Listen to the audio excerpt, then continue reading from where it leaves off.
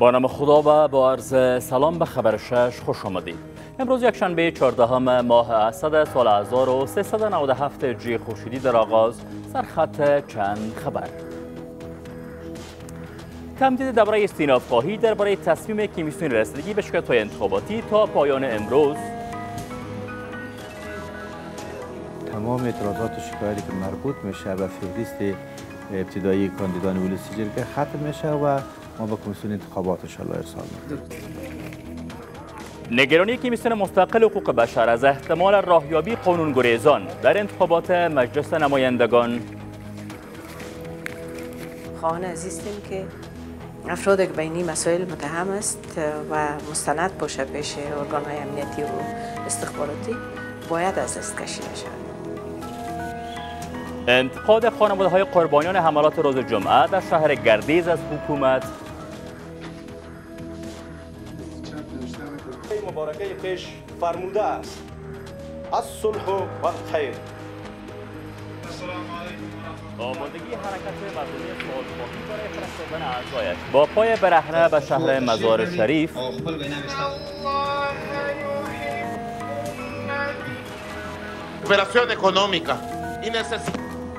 و سوی قصد نافرجام بر جان رئیس جمهور ونزوئلا در هنگام یک مراسم نظامی در این کشور.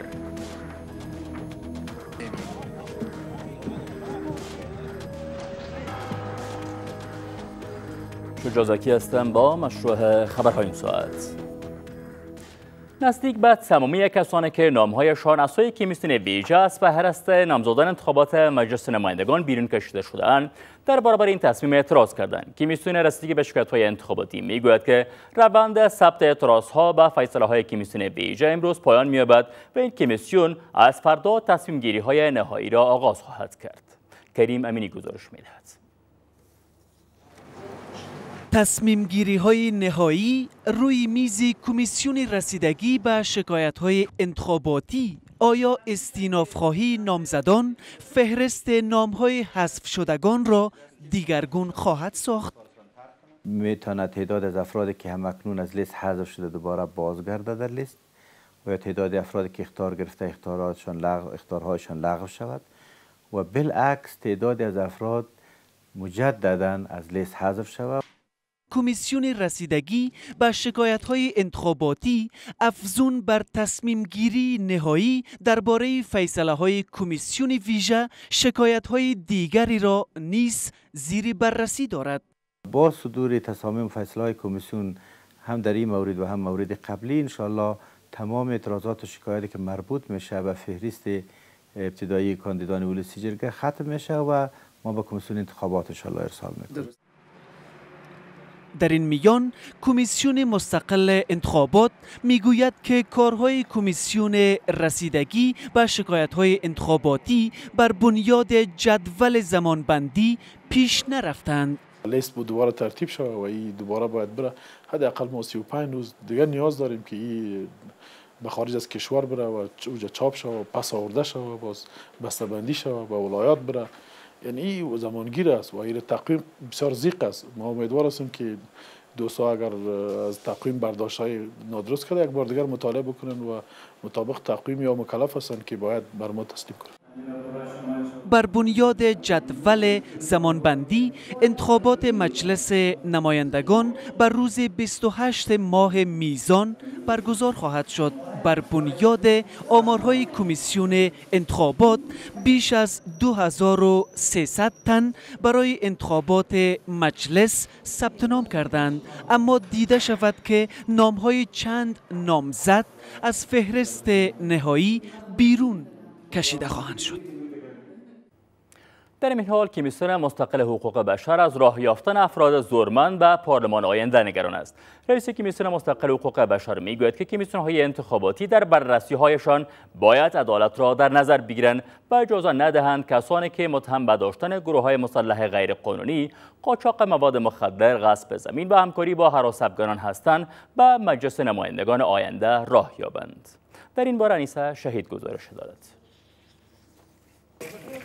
کمیسیون مستقل حقوق بشر از نهادهای انتخاباتی می خواهد که جلو راه یافتن قانون شکنان و قانون گریزان را به مجلس بگیرند رئیس این نهاد می‌گوید که کمیسیون های انتخاباتی نام های کسانی را که به قاچاق مواد مخدر، همکاری با گروه های حراس افغان، غصب زمین و داشتن افراد مسلح غیرقانونی متهم هستند باید از فهرست نامزدان بیرون بکشند. این کشیدن از لیست یا داخل نمودن در لیست به اساس خواسته و طرف یعنی به اساس, به اساس روابط نباید باشه. به مو خاطر است که ما خواهان عزیزیم که افراد که بینی مسائل متهم است و مستند باشه پیش ارگان های امنیتی و استخباراتی باید از لیست کشیده شود. گل مجاهد یکی از کسانی است که نامش از فهرست نامزدان بیرون کشیده شده است. وی می‌گوید که وزارت امور داخله برای وی و شماری از بازرگانان و بزرگان اقوام جواز داشتن چندین جنگ افزار را داده است. یک کسی از قندار آمده ما برش امر ریزش خلاص کردیم مربوط به وزارت داخله است به تروریسم است. یک کسی از ولسوالی های کابل آمده از خود شهر کابل آمده که ما تاجر هستم ما کارباری هستم ما دشمنی داریم ما قماندان مجاهدین هستم. ما جنجال دارم یک منسلا کارت خود گرفته مربوط به اونا میشه مربوط به وزارت داخله میشه نه با مربوط به جلاگل مجاهد. خدا کنه که یک هزار منسلا رو وزارت داخله و کسی داده باشه او قانونی است غیر قانونی قانونی و چرا شما کارت دادین. من خودم که خودم هشت منسلاست منابع در کمیسیون ویژه شناسایی نامزدان انتخابات مجلس نمایندگان می‌گویند که شماری از نامزدان سندهایی را نشان دادند که وزارت امور داخله با آنان جواز داشتن جنگ افزار توضیح کرده است. د کورنۍ چار وزیر ټولو کشفی استخباراتي ارګانو ته او نظمی پولیسو ته په جدي توګه هدایت ورکړی دی. ټول هغه وکیل صاحبان چې د شوي تفاهم او د مربوطه طرز العمل ورهخوا وسله انتقالوي دوی د جدی قانونی چلند باشی کمیسیون مستقل حقوق بشر می‌گوید که شکایت هایی درباره برخی از نامزدان انتخاباتند که به داشتن گروه های مسلح غیر قانونی و همکاری با حراس افغانان متهم هستند. اما نهادهای امنیتی با کمیسیون های انتخاباتی در بیرون کشیدن نام های این نامزدان از فهرست نامزدان انتخابات باید با کمیسیون های انتخاباتی همکاری نمایند. در حمله انتحاری در مرکز ولایت پروان ستن از نیروهای خارجی کشته شدند و یک سرباز امریکایی و دو سرباز ارتش زخم برداشتند. این نیداد بامداد امروز در منطقه خلازه شهر چاریکار انگام رخ داد. که انتحار کننده مواد انفجاری امراهش را در برابر کاروان نیروهای خارجی منفجر ساخت. در این حال ماموریت حمایت قاطع میپذیرد که در این رویداد سه سرباز این نیروها کشته شدند. وزارت دفاع جمهوری چک تایید کرده است که کشته شدگان این رویداد سربازان این کشور بودند. طالبان مسئولیت این رویداد را بر عهده گرفتند.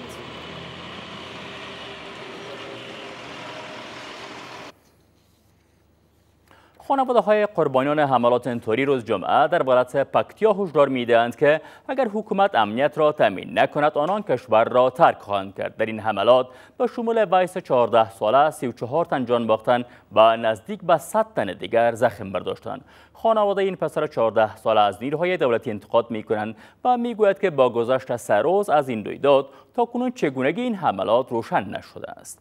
عبدالحق عمری در این باره گزارش فرستاده است.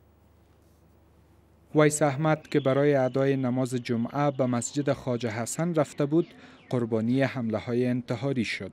پدر ویس احمد از نهادهای مسئول می پرسد که پاسخگوی این همه نابسامانی ها کیست؟ درخت مردم میشن آدم میشه تا یک 14 سال 15 سال خدمت کن که کاسلش بخورید پیش نو یک جای برسه ولی روز روز بشه تیکه تیکه بکره پیش روی سگای یهودی گوشت رو می‌خوره سید زکی پسر کاکای ویس احمد می گوید که با ویس احمد در هنگام نماز جمعه یک جا بود. همراه ویس بودم در پاله شده بود باز باز به من می‌گفت ما برش نماز گفتم خلاص کنیم ما برش میگم چرا نمی کلب باز خانواده ویس احمد از حکومت عدالت می خواهد. یا مردم نکنم قتل نکنم چی فایده برسه برشان پیسه نمی‌گیرن امنیت خود بخی صفر است. حتی نمی‌تونه که امنیت ارگ بگیره. امیال خود ارگ تقریبا از خود اشرف غنی تا پیش مراد خانی را صد دیوال سنگی ماندگی از سوجه نمی‌تونه که تامین امنیت خود بگیره. نمیفهم که ملت مظلوم به کی وابسته کنه خدا. چاشت روز جمعه در دو حمله انتحاری بر یکی از مسجدهای شهر گردیز 34 تن جان باختند و نزدیک به 100 تن دیگر زخم برداشتند. در این حال شمار از آوارگان ولسوالی های قشتیپه و درزاب ولایت جوزجان از حکومت می خواهند تا آن عدد دایشان را که مرتکب به جنایت های جنگی شده اند به دادگاه بکشاند.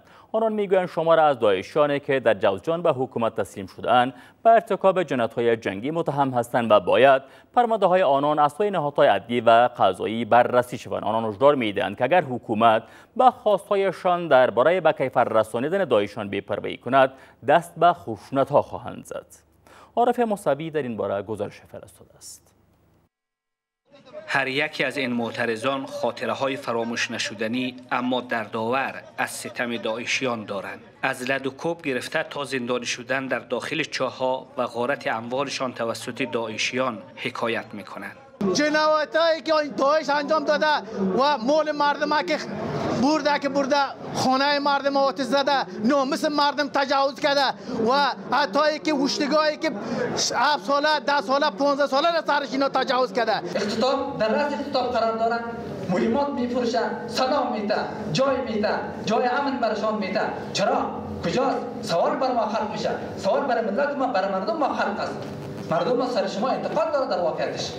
میگن که حتما حکومت محلی جوزجان خودشان دست دارن. خلاص ویدگه تجاوز قلده خلاص مردم مالını oldu خونunu yişti قانون yişti گوشنی yedi öldürüp alaviler qaysi kitapga ravodir اما پاسخ مقام های محلی جوزجان به این معترضان چیست؟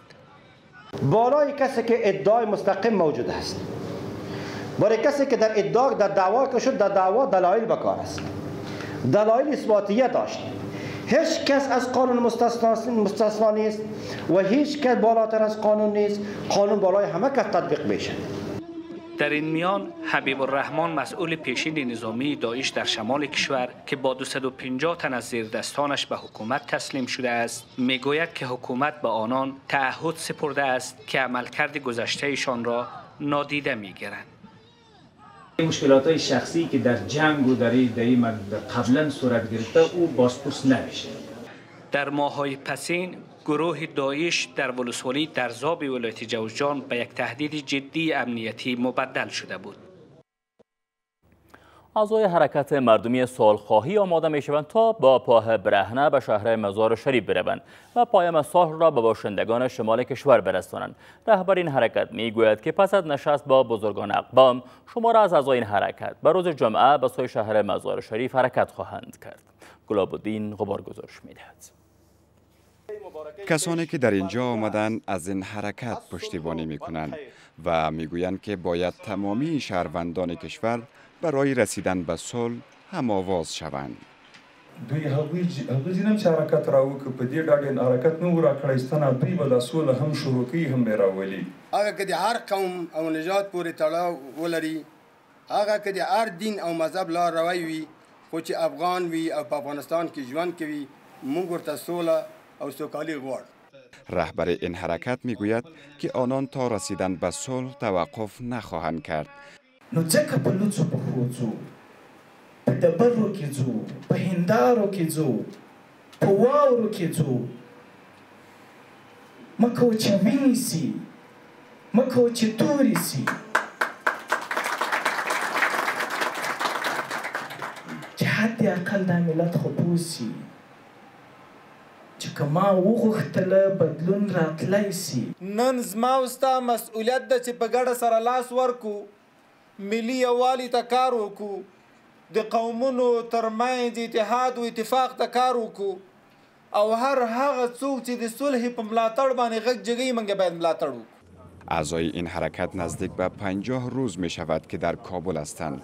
آنان در این مدت در برابر چندین سفارتخانه و نهاد جهانی بس نشستند و از آنان خواستند که افغانستان را برای رسیدن به صلح و قطع جنگ کمک کنند. تا چند لحظه دیگر چند خبر جهان را میشنوید با طلو و طلو نیوز باشید.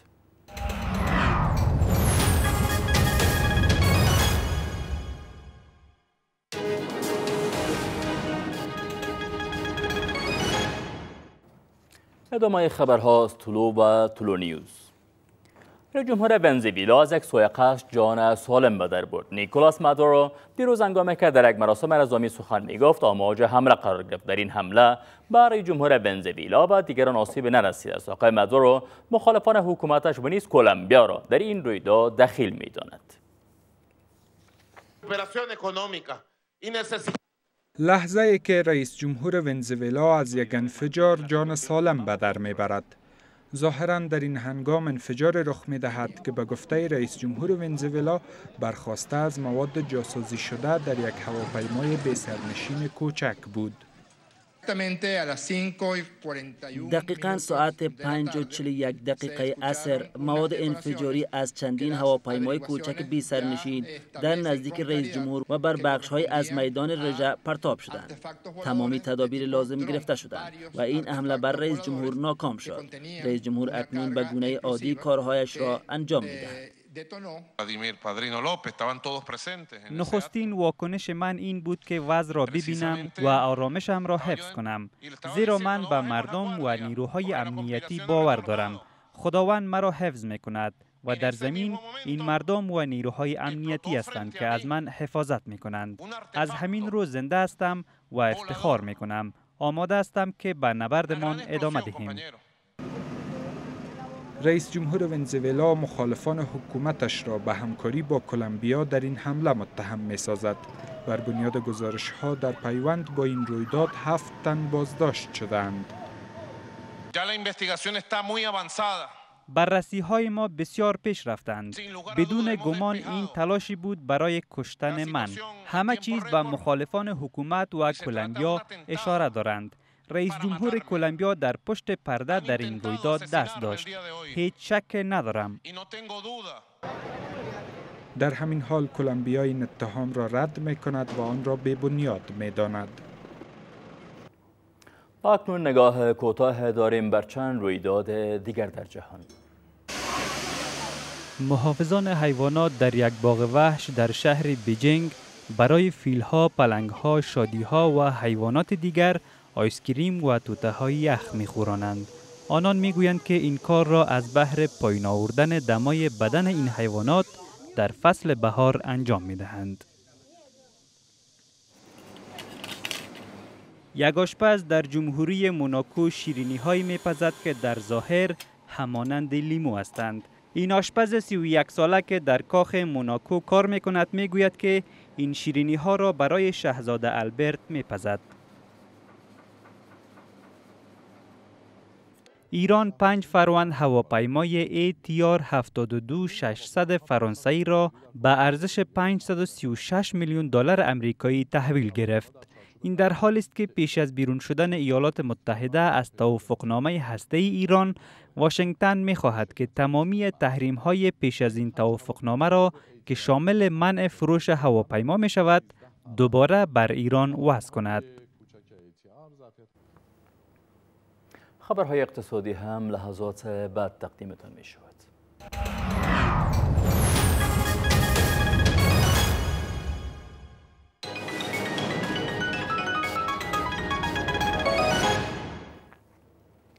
با ادامه خبرها باز هم خوش آمدید.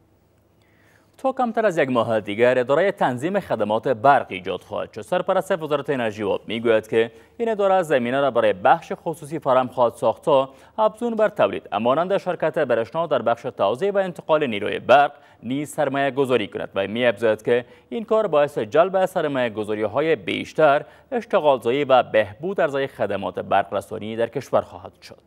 حیدر شاه امید گزارش می‌دهد. سرپرست وزارت انرژی آب می‌گوید که اداره تنظیم خدمات برق ایجاد می شود تا از یک سو با جذب سرمایه گذاری های خصوصی عملی سازی برنامه های حکومت را در بخش انرژی برق که تنها تا سال 2032 به 6 میلیارد دلار نیاز دارند ممکن سازد و از سوی دیگر با سهم دادن به شرکت های خصوصی انرژی برق را که در حال حاضر به نزدیک به 40 درصد از جمعیت کشور توزیع می شود به تمام شهروندان کشور برساند. تشکیلش ایجاد شده. اعضا و شکل به قانونمندیش یا regulation of regulatory که ما میگیم. خلاص است و به کمیسیونی خدمات ملکی رفته برای approval که انشالله امیدوار هستیم در ما عملا رسما ما اداره رگولیتوری ایجاد کنیم. محمد گل خلمی بررسی خرید و فروش برق و تعیین سقف قیمت برق را نخستین کار اداره تنظیم خدمات برق می‌گوید. ما نمیگیم پایین یا بالا ولی یک چیز میگیم که بله بعد ایجاد اداره رگولیتوری یک قیمت عادلانه تطبیق خواهد شد با ایجاد اداره خدمات برقرسانی از دید کیفیت و کمیت و از دید عرضه خدمات بهتر به مراتب استانداردتر و خوبتر میشه اما نگرانی های هم از پاگذاشتن شرکت های خصوصی در بازار توزیع انرژی برق وجود دارند. اگر ما تجربه نفت و گاز سر برق نبریم قیمت ها پایین میه در صورت اگر بازو تجربه نفت و گاز سر برق بره که اولیگوپول ساخته شود و با اینکه از این قیمت بالا نمیفروشی و از این قیمت پایین باز وقت است که ما در در نوع انصار نه نوع انصارگری را در اینجا خواد دیدیم اداره تنظیم خدمات برق که سه سال پس از ایجاد مستقل خواهد شد بر بنیاد قانون خدمات برق که در سال 1394 هجری خورشیدی نافذ شده است باید ایجاد شود. و این هم نرخ شمار از ارزها در برابر افغانی در بازار امروز کابل.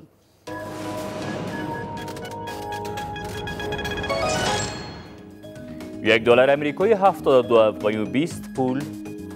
یک یورو 83 افغانی و 50 پول.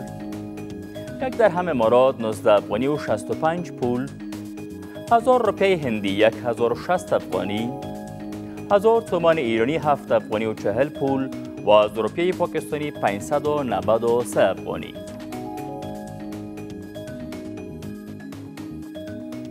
خبرهای ورزشی را مسعود ملک تقدیمتان می‌کرد آقای ملک خوش آمدید سپاسگزار خبرهای ورزشی هم تا لحظات بعد.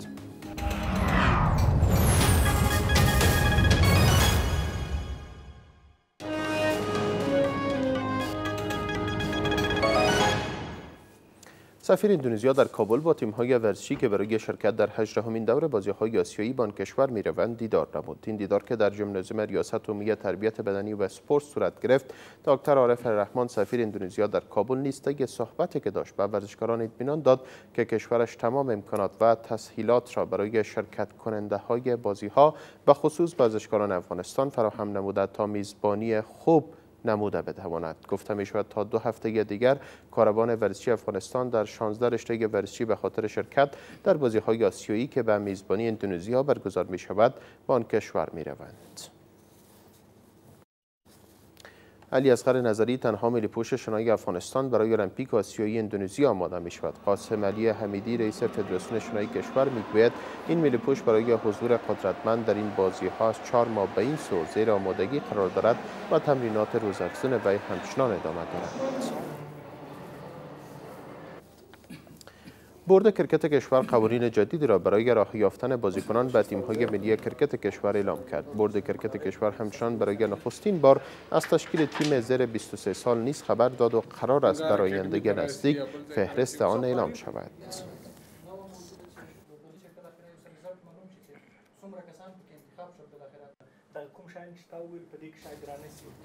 ما در تلاش رسانیدن داغترین خبرهای افغانستان و جهان به شما هستیم. پس برای شنیدن تازه ترین خبرها به شماره 456 زنگ بزنید و سپس شماره 11 رو بگیرید.